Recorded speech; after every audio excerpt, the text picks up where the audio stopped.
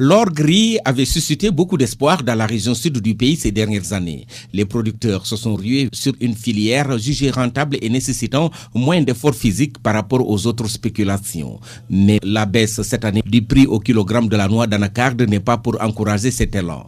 Un tour effectué dans la zone frontalière avec la Guinée-Bissau voisine a permis de se rendre compte de la grande frustration des populations de la commune de Boutoupa-Kamarakunda qui affiche déjà un découragement total. Depuis des années, bon, le prix était quand même abordable, mais cette année, c'est vraiment pire. Il y a des gens même qui ont abandonné les vergers, ils sont là, ils ne ramassent pas. 300 francs le kilo.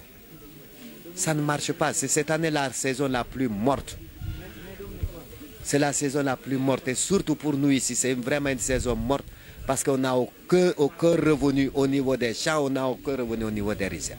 Donc on passait quand même à régler un peu notre vie, équilibrer un peu.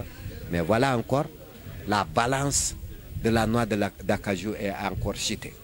La dégradation des terres cultivées sous l'effet de la salinité, l'ensablement des terres, la non-fonctionnalité du barrage de Guidel plombe véritablement l'agriculture dans cette partie du département de Jiguenchor où le pire peut être envisagé si rien n'est fait selon Tidjan Djedjou du village de Guidel Bambadinka. Le barrage a créé d'énormes problèmes. Je, je, dis que le barrage encore c'est un autre conflit.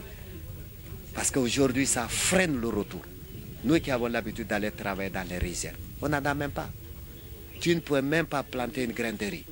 Alors que le barrage est là, nos arbres, nos, nos vergers que vous voyez là, tout près. Laissez-les remonter. Personne n'ose planter quelque chose là-bas. C'est compliqué pour la population.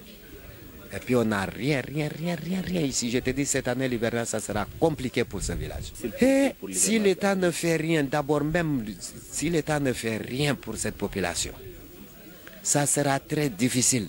Vous allez entendre des gens qui, ont, qui vont faire des choses qu'ils n'ont jamais pensé de leur vie.